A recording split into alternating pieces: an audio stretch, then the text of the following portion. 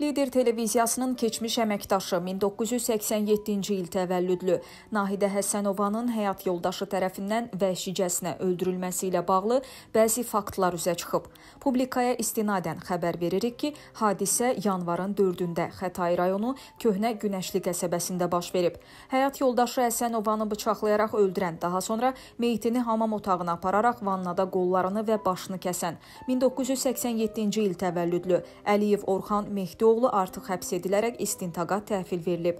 Faktla bağlı cinayət işi açılıb, araşdırmalar aparılır. Məlumata görə Əliyevin arvadını öldürüb onun bədən üzvlərini hamamda doğradıkdan sonra Həsənovanın cəsədinin videosu çəkilib.